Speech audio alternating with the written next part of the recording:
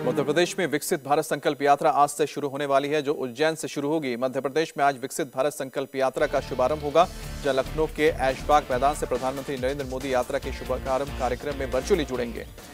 वहीं मुख्यमंत्री डॉक्टर मोहन यादव उज्जैन से कार्यक्रम में शामिल होंगे, जहाँ यात्रा को लेकर जिलों में मौजूद जनप्रतिनिधियों और कलेक्टर्स को ज़रूरी निर्देश दिए गए हैं। साथ ही इस यात्रा के लिए केंद्र सरकार ने प्रदेश में तीन सौ छियासठ रथ मुहैया कराए हैं। सरकार की योजनाओं को लोगों तक पहुँचाने के लिए आज उज्जैन से विकसित भारत संकल्प यात्रा की शुरुआत की जाएगी, जहाँ योजनाओं के लाभार्थियों से आज शाम को चार बजे पीएम मोदी वर्चुअली संवाद करेंगे। आपको बता दें कि पाँच राज्यों में सूचना, शिक्षा, संचार वैन रवाना होगी, जिसका उद्देश्य बच्चों, महिलाओं, किसानों को यात्रा से जोड़ना है।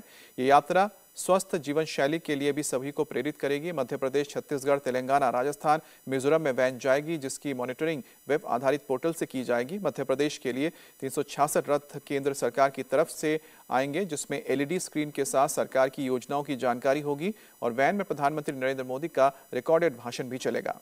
विकसित भारत संकल्प यात्रा में अलवर से बीजेपी अध्यक्ष जेपी नड्डा शामिल होंगे तो सानंद से गृह मंत्री अमित शाह, उज्जैन से एमपी के नए सीएम मोहन यादव और अलवर से राजस्थान की डिप्टी सीएम दिया कुमारी भी जुड़ेंगी। तो आज विकसित भारत संकल्प यात्रा की शुरुआत होगी और उज्जैन से इसकी शुरुआत की जाएगी, जिसमें प्रधानमंत्री मोदी वर्चुअली जुड़ेंगे और इसी के तहत मध्य प्रदेश में तीन सौ छियासठ ऑडियो विजुअल बैंस भेजे जाएँगे, जिसके ज़रिए लोगों तक सरकार की योजनाओं को पहुँचाया जाएगा और लोगों को, खासतौर पर बच्चों, महिलाओं और किसानों को जोड़ा जाएगा।